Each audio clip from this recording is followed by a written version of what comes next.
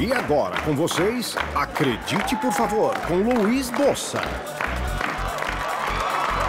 Está começando, meu! Mais um Acredite, por favor, seu almanaque televisivo de recorde.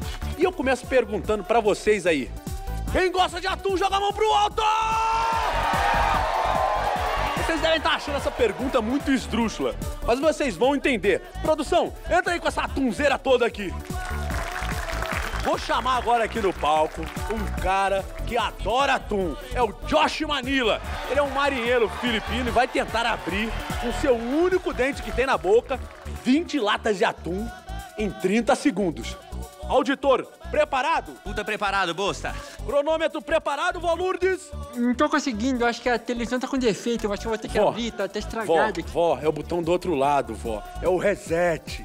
Isso. Achei, tá aqui, ó. Zerou.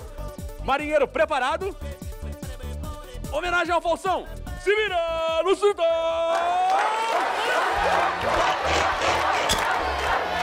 Eu adoro atum. Gosto de atum com macarrão. Até atum com coco, docinho de atum com coco. E o cronômetro tá rolando.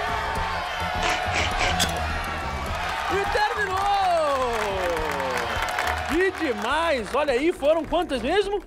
É, eu acho que 20 latas. 20 latas confirmadas. Auditor, confirma o recorde. Puta, Bocinha, é, caiu o único dentinho dele na hora que ele tava roendo as latas, meu. Infelizmente, o recorde puta negado. Ah, meu, puta mundo injusto. Coitadinho dele. Ai, coitadinho do filipino, meu. Fico mal, meu. A vida, né, Bolsa? Fico mal. Bom, agora vamos dar um chega pra lá nessa tristeza, porque ninguém merece. Vamos à nossa faixa comercial, porque daqui a pouco vocês vão conhecer o animal mais inteligente do planeta. É coisa rápida, é rápido.